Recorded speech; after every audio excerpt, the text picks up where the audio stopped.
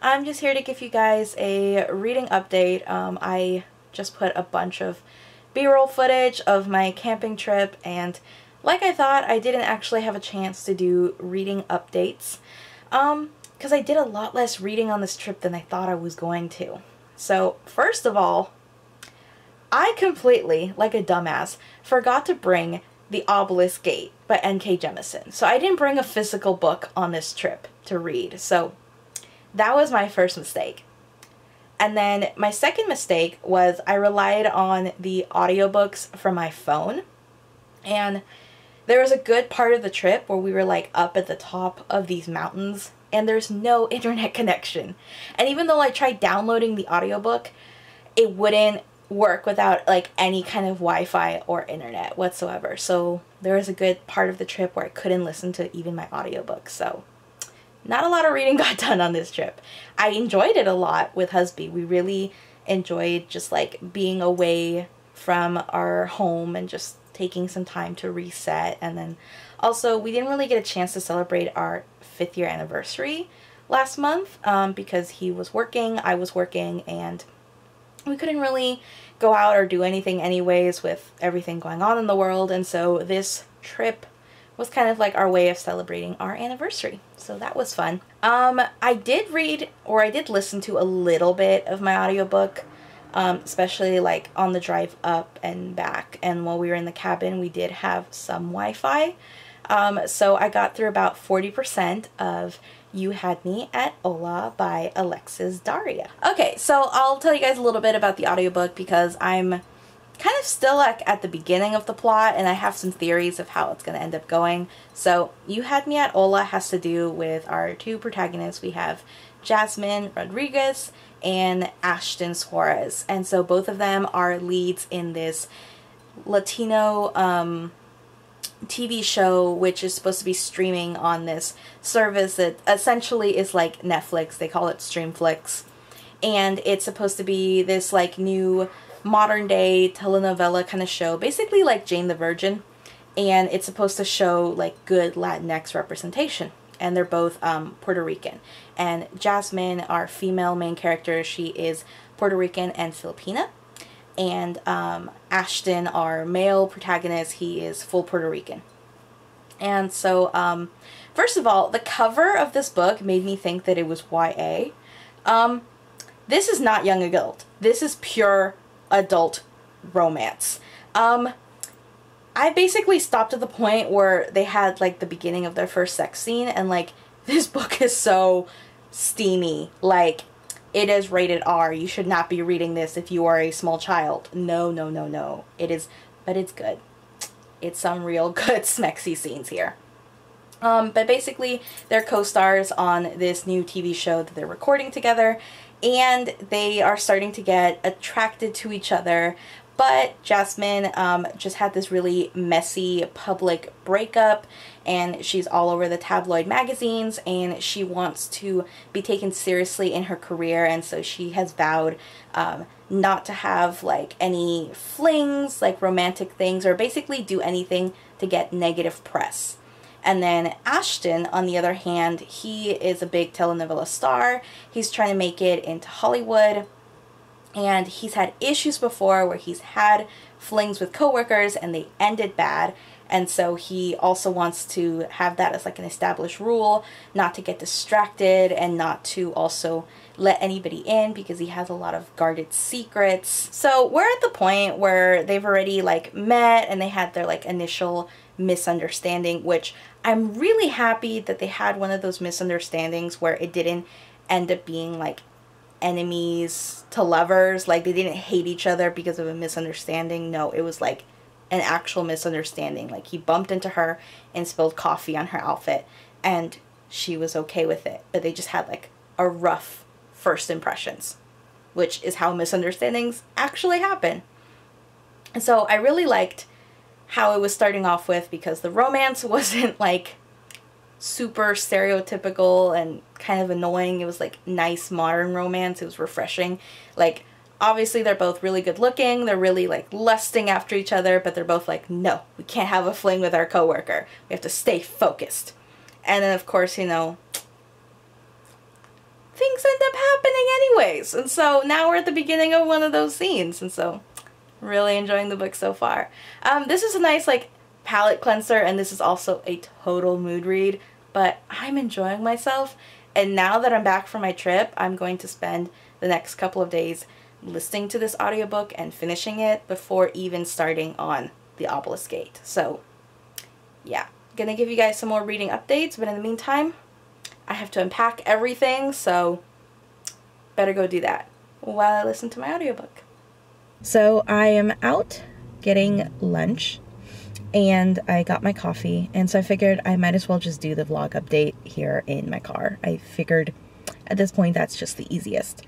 So I did finish um, You Had Me at Hola by Alexis Daria, and I gave it a four stars. It was the adult romance book. Um, okay. Let me talk about first what I didn't like with this book, because it's very much like a me thing, just like a personal preference as a reader.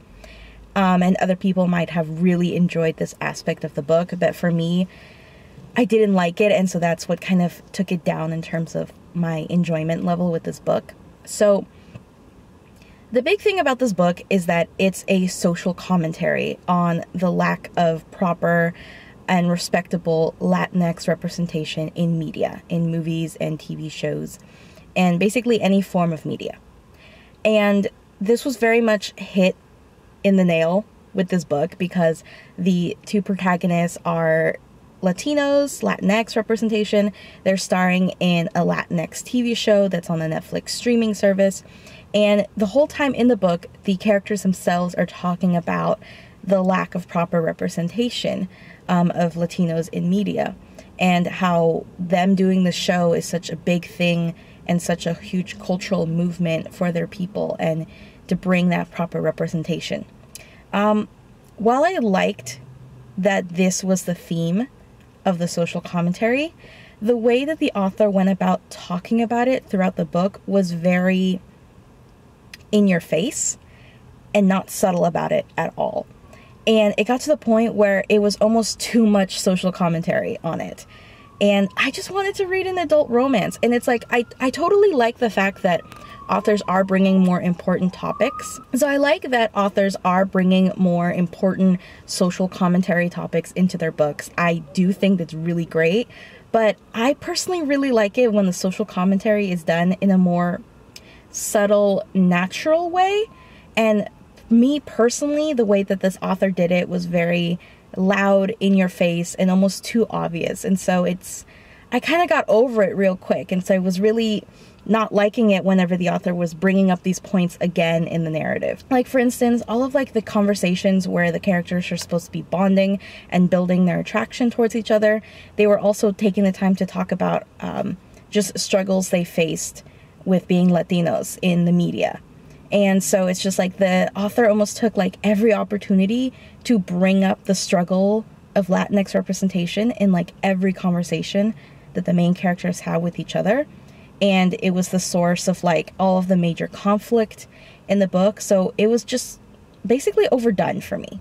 And that's honestly the main reason why I'm not giving this a five stars, just because enjoyment wise, that kind of bothered me how much they were putting it in the book. And so kind of took away from that. But in terms of like the characters themselves and the romance, like it was A plus. I really liked it. I really enjoyed both main characters.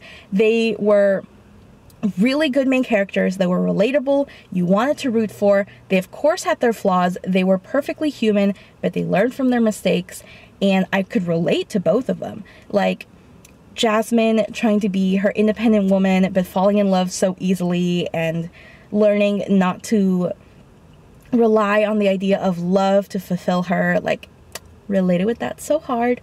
And then, of course, our male lead, um, Ashton, he suffers from anxiety and he has some PTSD trauma, and just the way that he goes about with his anxiety, I could also relate to. And so I really enjoyed both of the main characters, really enjoyed the side characters. I did enjoy, you know, the fact that we had a full cast of Latino characters. That was great. Um, and of course, it was adult romance, and so it, it did, without fail, go into the very cliche um, part three breakup where the characters had some kind of conflict and they broke up, and then at the very end they got back together, and I knew it was happening. It was nice and cliche, but I still loved it. And best part were the steamy scenes. The sex scenes were so good, and they were multiple, and they were all hot and steamy, and this author knows how to write sex scenes. That's all I gotta say. So, do I recommend this book? Yes, absolutely. It's a really good book, really well written, really great characters, really good romance. Did it have a little bit too much social commentary for my taste? Yes. But if you like that kind of thing in your books and you think there should be more of it in your books, you might actually really enjoy this. So, yes, I do recommend that you pick up You Had Me at Hola by Alexis Daria. And this weekend, um, I am going to start The Obelisk Gate by N.K. Jemisin, which is the second book in the Broken Earth trilogy. And I'm so excited to start this book. You guys know how much I loved the fifth season. This is gonna be one of like my top favorite books of the year and I'm so hyped for the Obelisk Gate. And really sad that I wasn't able to bring this book on my camping trip but at the same time did I really need like a deep book that was gonna make me sad on like a weekend getaway? No. So I'm going to enjoy reading it this weekend. Um, we have a couple of days left for November. So this is most likely going to be my last read for November. But really excited to get to it and hopefully I can pick up the third and final installment of the trilogy for December and finish off the year with it. But yeah, I'm just really excited for the Obelisk Gate and I hope it does not disappoint. So hey guys, even though it's Sunday, I didn't give you guys any reading update um, when I started the Obelisk Gate by N.K. Jemisin, but I finished the book already. It only took me two days to finish this book. I read about 75% of it yesterday on Saturday and then I finished the last part this morning and I got things to say. Okay, first of all, I'm only going to be giving this a four stars. I know. I'm also really surprised. There's the brownie who decided to join me for this review. I'm really surprised that I'm only giving this four stars. And I'll tell you guys, the main reason is that this fell under middle book syndrome. Okay, it's the middle book in the trilogy, and so therefore it's more character driven instead of plot driven. And ultimately, okay, I'm having a hard time articulating my thoughts about this book. I really liked this book. It still had the same amazing writing style that I love from N.K. Jemisin. The character is amazing. The world building, we get so much more info on how the magic system works and just the other species that we have in this universe. And it was still really, really good, don't get me wrong. Um, I think the biggest thing with this book was that the plot was a lot slower because our main protagonist was in the same place the entire book versus in the previous book she was traveling a lot and so I think that that plot and just the movement of it helped me with my enjoyment of the book. And then we did get two new protagonists um, in this book, which I really liked, and we got their point of view, which I also really enjoyed. Um, but I think overall there was just not a lot of movement from the characters. They were all pretty much in the same places the entire book. Um, and so even though a lot was developing in terms of like how the story was going to go action wise there wasn't a lot and so for me it was a little bit more boring than the first book in that sense and then also I really didn't get a lot of those emotional moments. Like in the first book, there was three or four times where I had to stop reading and just like shove the book aside because it just left me emotionally raw on the inside. And I didn't get those same reactions with this book. There wasn't any of those like shocking emotional moments. I think there was one, but other than that, I was just... I think the fifth season, I had such high standards for it. Like, it raised my standards so much. It was 10 out of 10, and I think I was expecting the same, which is not fair because, you know, this book was still amazingly good. It was just not as great as the fifth season. So, ultimately, I'm just giving it a 4 stars. So yeah, I'm going to be finishing up this week's reading vlog here. I'm literally laying on my floor for my bedroom, and my dog's there asleep. But my house is a mess since my mom moved in and so we're rearranging everything and there's boxes everywhere and so my filming area isn't really suitable for filming so I'm just gonna end the vlog here sitting on my bedroom floor. But yeah, I mean, I really did enjoy The Obelisk Gate, give it four stars. And then I read You Had Me at Hola which I also gave four stars. So still pretty good solid reads this week. So not disappointed with my reads. So yeah, it's the end of November. There's only like a couple more days, and so I'm not going to read anything the next couple of days, but I am going to start my December TBR to pick what books I'm going to read, and I'm going to do a game this time around, so you guys see that on my channel. And yeah, really excited for December.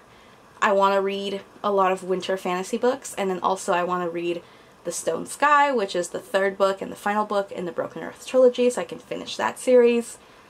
So yeah, really excited for next month's reading. So yeah, if you guys have made it this far, remember to like, subscribe, comment below, um, join me for some more bookish content. I'm Millie, and thank you guys for jumping into the Nook Realm. Bye!